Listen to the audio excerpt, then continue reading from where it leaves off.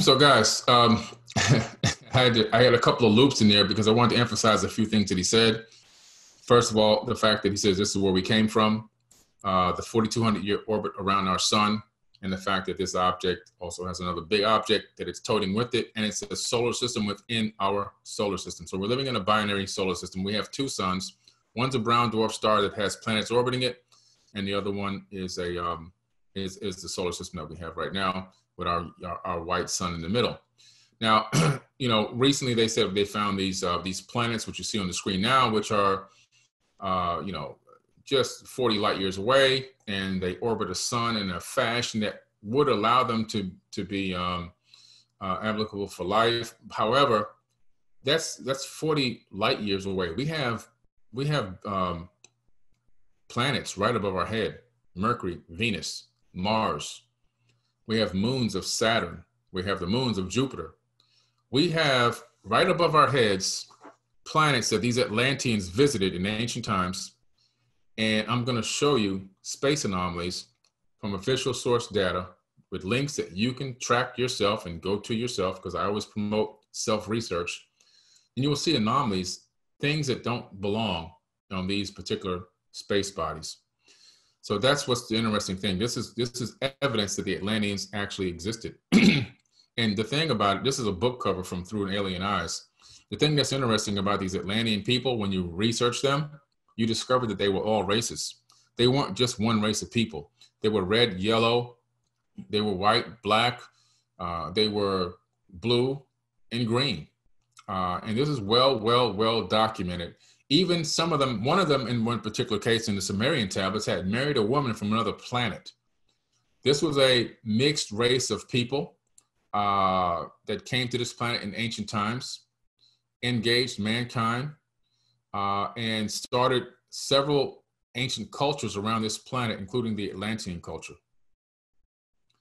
The Sumerian Kings list is one of the oldest accounts of these people on this planet, and the Sumerian Kings list is available in the in the Ashmolean Museum in Oxford, England. so if you go to the Ashmolean Museum in Oxford, England, you can go visit the uh, Sumerian Kings list. Most recently, uh, Jaden Smith, Will Smith's son, uh, from time to time, I send him to different places around the planet. When he's traveling, uh, they contact me and say, okay, where can I go to learn about uh, ancient civilizations in this particular region of the planet? Uh, when he was traveling out to, to Europe, I sent him to meet one of my guides and took him to the Sumerian Kings list in the Ashmolean Museum, which we have some great pictures of that on Anunnaki history on our Facebook group. But um, so the Sumerian Kings list is some of the oldest evidence, and we're going to go through the Sumerian Kings list right now. This is a, a video that was taken by uh, Dominic Joyce, uh, one of our phenomenal admins on Anunnaki history uh, when he went to Oxford, England, to the Ashmolean Museum. This is the tablet here that lays down the king's list, the people that ruled before the Great Flood happened, and how many years each one of them ruled. so let's just go through that tablet real quick. Let me let me see if I have that here. Did I have that here? The the years they ruled. Let's see.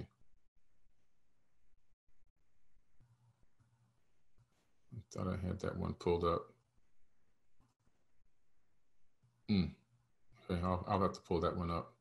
That's really interesting. I got I got to grab that. Uh, I got to grab that real quick, guys. Hold on a second for me. I want to give you the exact amount of years. See here. Like I told you, I have about 280 PowerPoints. so from time to time, I get a slide or two mixed up. Let me see here. That was that one. Jump in here real quick. If I don't find it here, I'm going to pull it up for you somewhere else. Excuse me. Dry throat. Let's see here. These are my anomalies. Okay.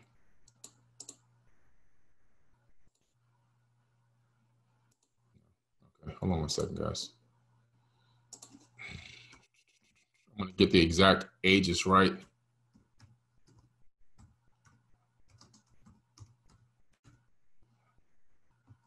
So I don't want to uh, mix my words on it.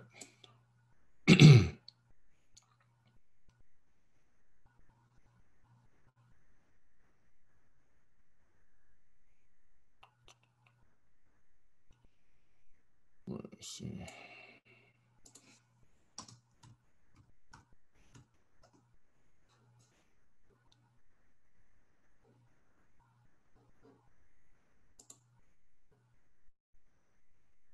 Okay.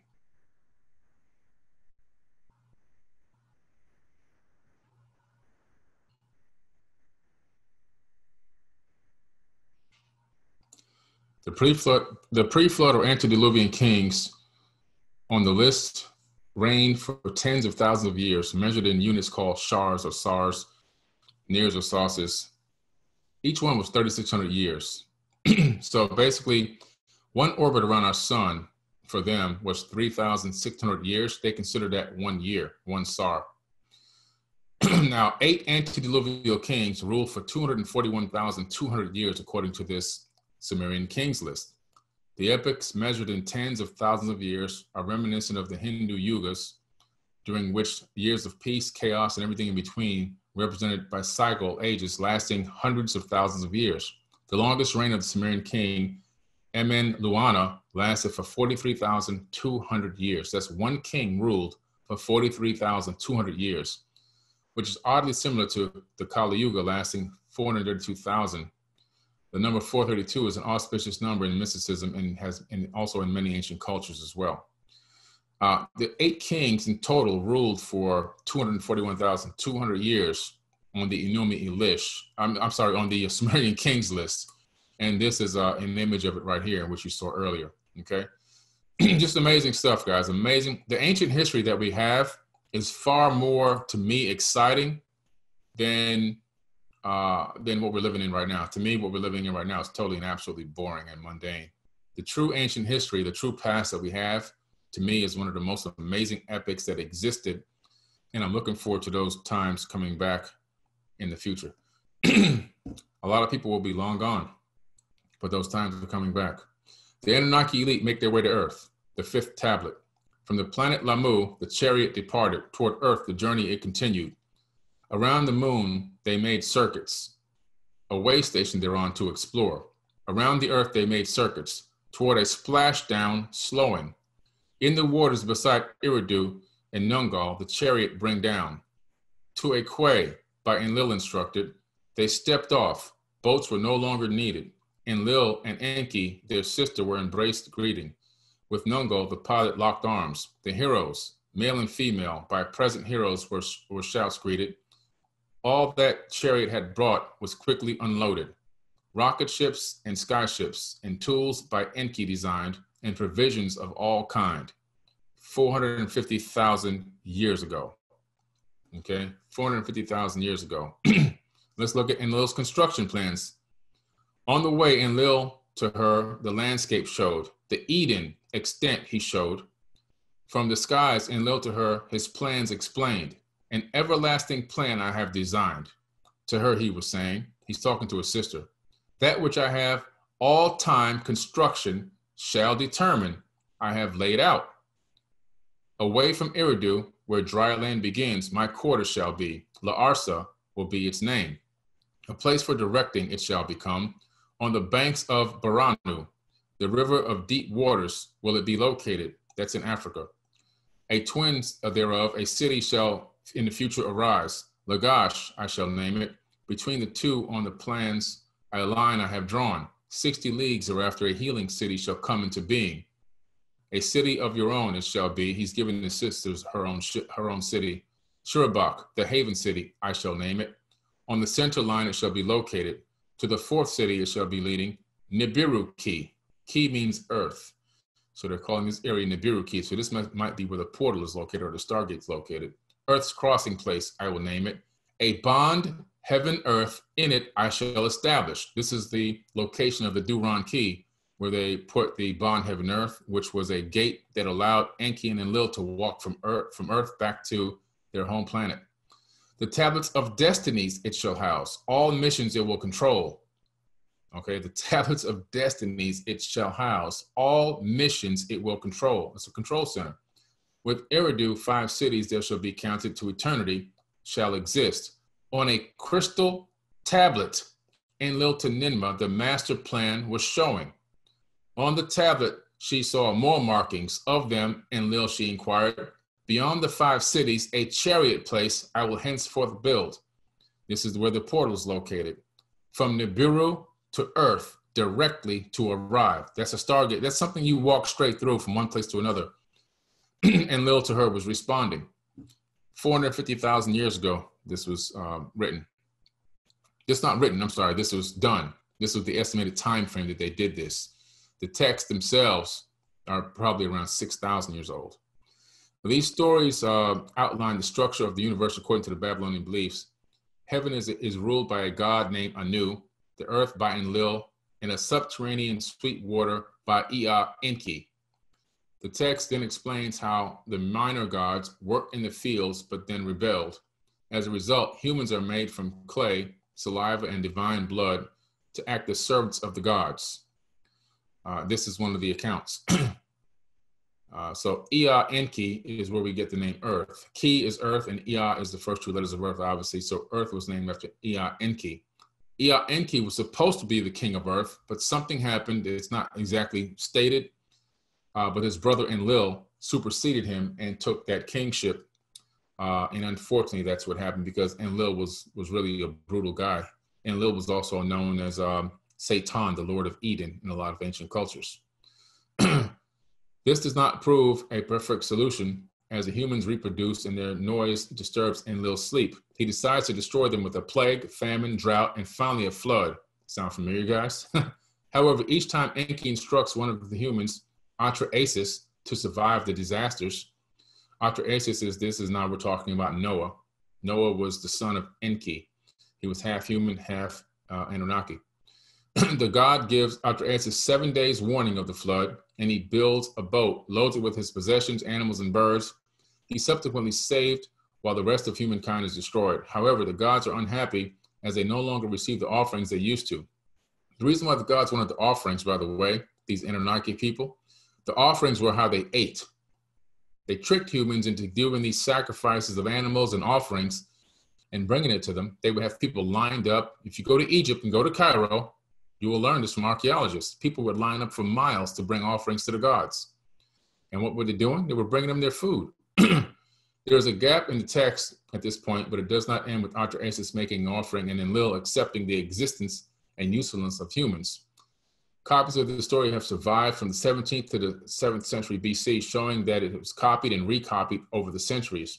This is the most complete version. There are clear similarities between this flood story and others known in the Mesopotamian literature. For example, the Epic of Gilgamesh, which is a true and full story of, um, of Noah as well. Okay, I highly recommend that people read that. As we're moving more into talking about a little bit about this Atlantean culture before I start showing you proof of life, the history of the Emerald Tablets is very strong and well documented. The original text was written in Thoth Atlantean language. Uh, the version that I'm referencing in this particular thing, you can get it on Crystal Links, Michael Doreal, or Roger Bacon's version, doesn't matter. A new translation was recently published from the uh, uh, Arabic version of the Emerald Tablets, and it's called the Book of Causes by the famous Thomas Aquinas. A translation by Sir Isaac Newton was found among his alchemical papers that are currently housed in the King's College Library at Cambridge University. Philip of Tripoli also translated the Emerald Tablets in 1240 AD. Also, a famous version called the Book of the Secret of Creation and the Art of Nature was written in 683 AD. A famous uh, author named Roger Bacon was accepted to Oxford University at the age of 13, also translated and wrote a version of the Emerald Tablets. He was an English philosopher and Franciscan friar who placed considerable emphasis on the study of nature through empirical methods. In the early modern era, he was regarded as a wizard and partly famed for the story of his mechanical or necromantic brazen head. He is also sometimes credited uh, as one of the earliest European advocates of the modern scientific method, inspired by Aristotle and uh, by later scholars such as Arab, the Arab scientist named Alhazen. So these are some credible people that had come in contact with the emerald tablets. Written evidence of the Anunnaki engaging mankind after a global flood 36,000 years ago.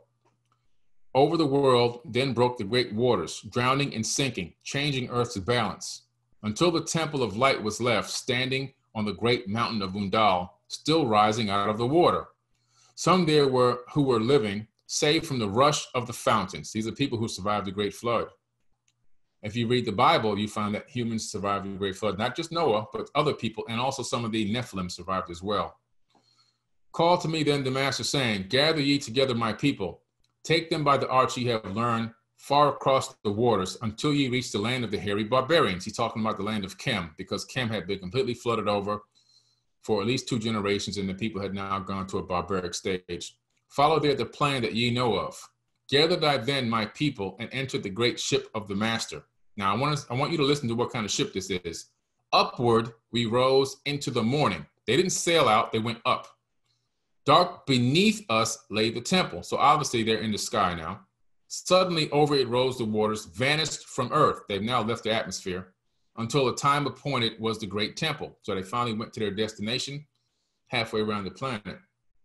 Fast we fled toward the morning until beneath us lay the land of the children of Chem.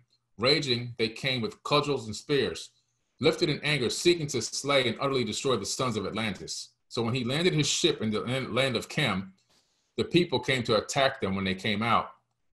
So look, look what he does. Then I raised my staff and sent the ray of vibration, striking them still as fragments of stone of the mountain. So I used a stun gun 36,000 years ago to stop these people from attacking them. Uh, then he says, uh, Then I spoke to them in words calm and peaceful, telling them the might of Atlantis, saying we were the children of the sun and its messengers. Cowed them I by my display of magic science. So he he had them like going crazy when he showed them his little technology, his, like his watch and his other little pieces of technology he had on him. Until my feet, they groveled when I released them. So they fell to his feet like groveling, like this guy must be a god. Then he said, No, he stopped. He released them. He said, In other words, I'm not, look, guys, I'm not a God. Long we dwelt in the land of Cam, long and yet long again, until obeying the commands of the master. In other words, they stayed there till the mission was complete. Who, while sleeping, yet lives eternally, I sent from me the sons of Atlantis, sent them in many directions, that from the womb of time wisdom might rise again in her children. So, what he's saying here is, uh, after they completed the mission there in the land of Cam and raised them back to a high level of civilization, because they were already there before, but the flood had destroyed everything. Then he sent his crew members around the planet to duplicate what he had done there in the land of Cam. More evidence and proof in ancient from ancient texts that these people were here. They rebuilt civilization after the Great Flood, and that they began to go around the planet and re-kickstart civilizations everywhere uh, all over again after this great flood happened. So more evidence of a great flood and evidence that people were, uh, advanced people were able to travel this planet. No matter where you go on this planet, you will find a depiction of Thoth. I went all the way out into the bush in Australia, and he's etched into the stone in Australia, flying on a spaceship through the Milky Way galaxy, way out in the middle of nowhere. Um, we discovered Proto-Sumerian hieroglyphs out in the Australian outback which are going to be part of the documentary that I'm doing called The Gosford Glyphs, uh, the mystery of the Gosford Glyphs. That's going to be coming out very soon.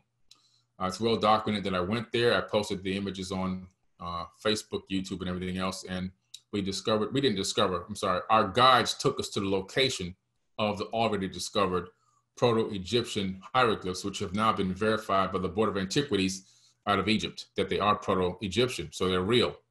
And the patina inside the uh, in the glyphs that grows in the glyphs can be aged so they date back 4,000 years. So this is real amazing stuff.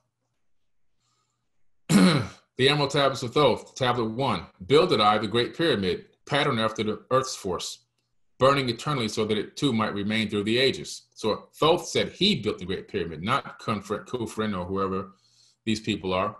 This is the person that claims to have built the Great Pyramid long before any of these other people were even born, tens of thousands of years before they were born. In it, I built up my knowledge of magic science, that means advanced technology, so that it, I might, so that it might be here when I return from Amenti.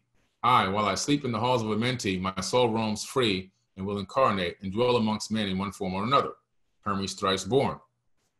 Thoth had the ability to transfer his consciousness into new bodies, avatar bodies that he would create and he would walk amongst men, but he says unlike a man in other texts. So he was walking amongst us, even though he wasn't a human. He appeared to be a human.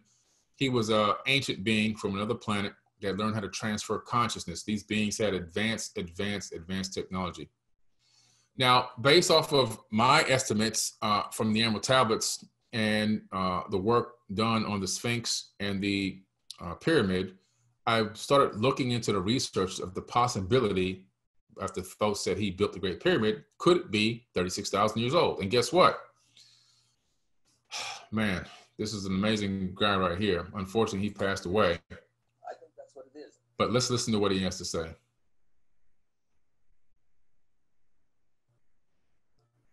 See if I can get this volume up here.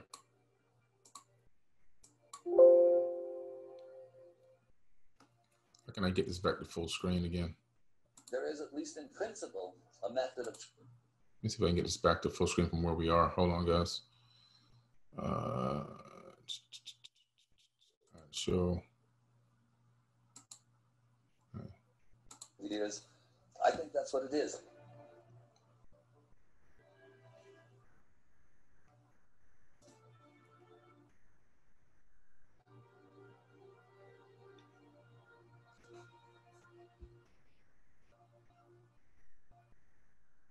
There is, at least in principle, a method of trying to settle this dating question. But my own view is, and is this, that it's this older date, partly because the Egyptians themselves say that's where civil, their civilization began, and then partly because of the of the of the, I think the very plausible suggestion that the Sphinx is meant as a as a marker of the age of Leo. Now, this is another hotbed of controversy, but there's a lot of reason to think that the ancients very, very ancients knew about the precession of the equinoxes and the shifts of ages, you know, that goes, we're now the end of the age of Pisces and coming into the age of Aquarius.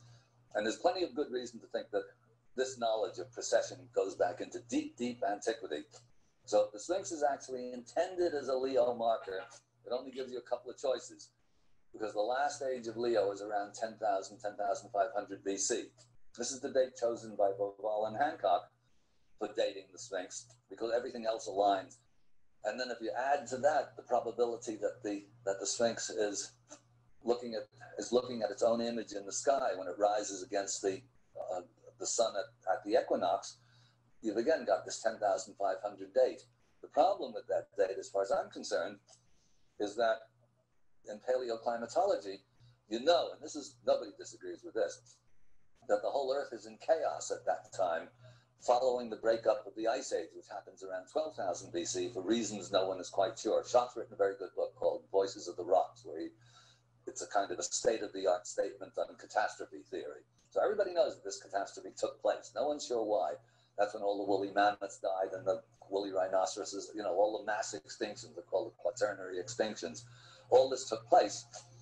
So, my way of thinking, building all of this incredible stuff requires a long settled and, and stable civilization. You don't just build things like this in the midst of, of, a, of a worldwide, global, chaotic situation where there are earthquakes all over the place, huge floods, and everything's, you know, everything's unstuck.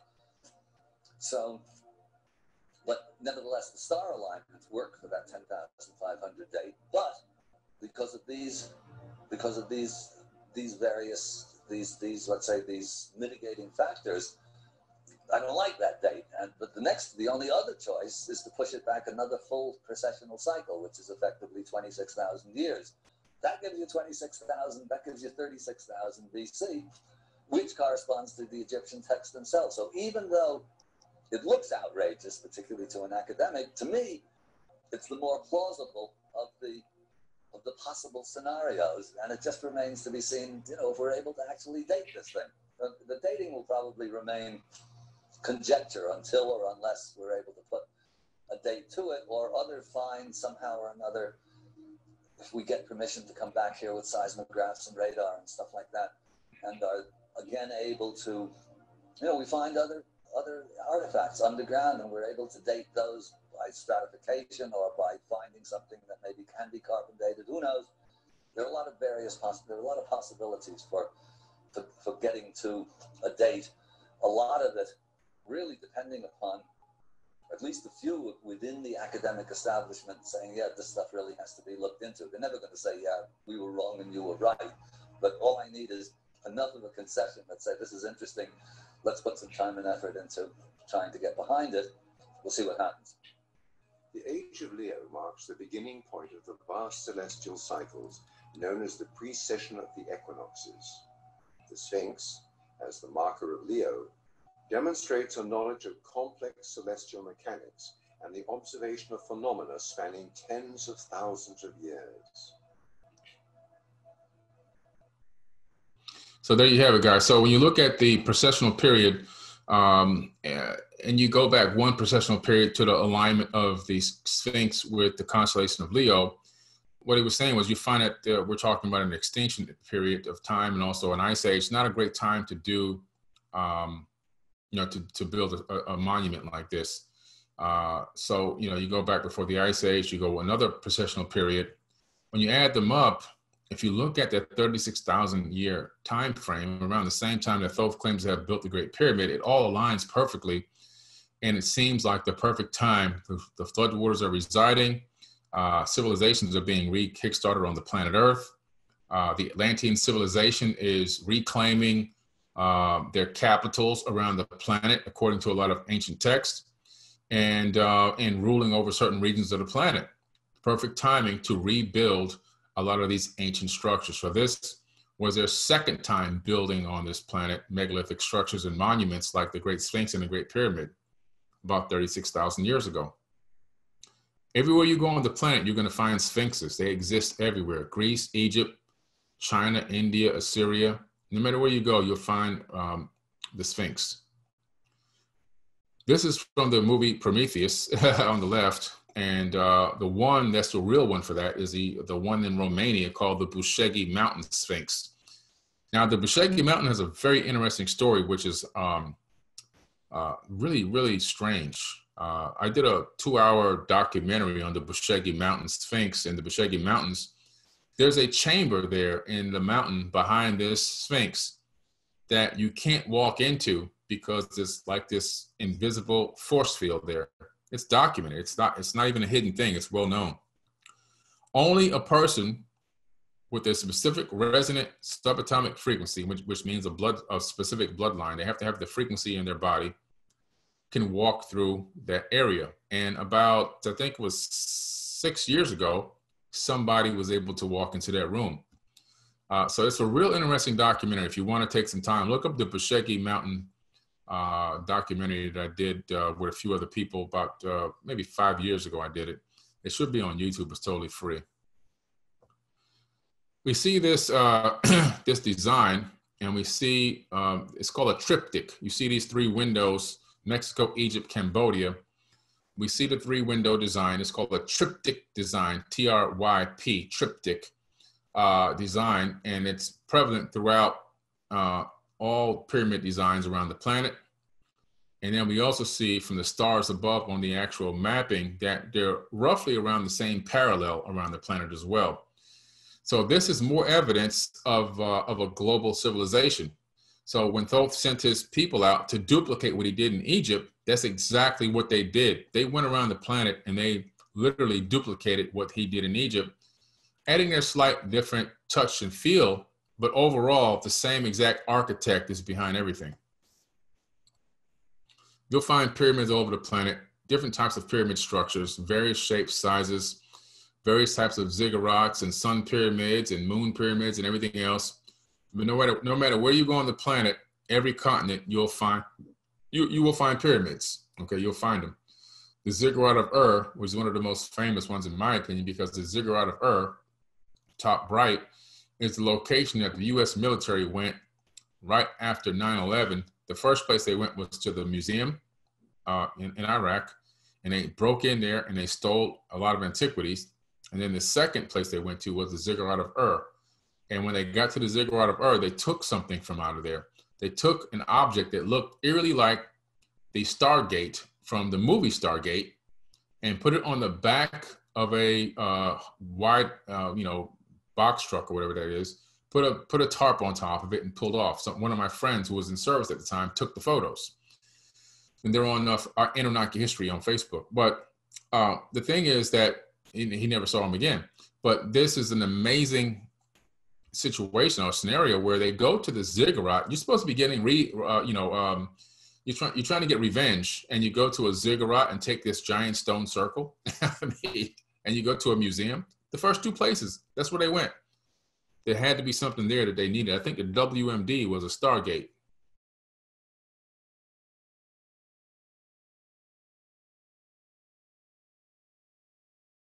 Hey, what's going on, everybody? This is Neil with Portal to Ascension, and I just wanted to take a moment really quick and show you the Portal to Ascension platform. The presentation or the documentary that you just watched was one of our many productions that I've done over the years, created over well over a thousand uh, workshops, events, conferences, retreats, webinars, and this is how our website works. If you want to go ahead and receive not only access to this presentation, uh, but hundreds of other presentations that we have available for you right now for free. You can go to our website, you enter your name right here, you email right here, click sign up. Pretty soon we're going to be launching a new website, but the the procedure is pretty much the same. You know, your name, email, sign up. Once you do that, you're going to get an email with your username and a temporary password. You then click login. Once you log in, you're going to see the whole entire backend laid out with all the webinars and presentations for you. Not only can you start typing by speaker name, topic, category, whatever you want, even letter, but you can scroll down this list here and sort by category. And I'm not going to read these off to you, but you can take a look. We have a lot of different topics UFO disclosure, true world history, spiritual development, science, sacred geometry, and so much more. And then you can also search by speaker, which we have here alphabetically, or you can just browse the whole entire thing here and take a look at all these presentations. You are able to, if you can take a look up the top corner here, you're able to add to your watch list to watch these back anytime you want. So you can add to your watch list, it'll be put there. When you come back into the platform, you can continue watching where you left off. There's a documentaries tab, there's an interviews tab, and this is how the individual event page will look. So right now, you can go to the website portaltoascension.org, put in your name and email, sign up. You'll get access to what you just watched, and there's so much more footage. There's free footage being added weekly. So really, this is a one-stop shop for consciousness, and there's always new valid content for you that is relevant for the times that we're currently in, where we're not only dissecting and delving deep into the ancient past, but also creating information that will empower us for the future to come. And here is an example of one of the event pages. This one's on Billy Carson, Quantum Merkaba Manifestation. You can view it right there, description, speaker image, that would also go to his bio and then also suggested webinars that you can tune into as well. And then of course, please do leave a comment and leave us feedback. So there you go, guys. That's our back end and that's how Portal to Ascension works. Go ahead, go to the website right now, portal2ascension.org. Enter your name, email, sign up, take a look at the site, let us know what you think and enjoy.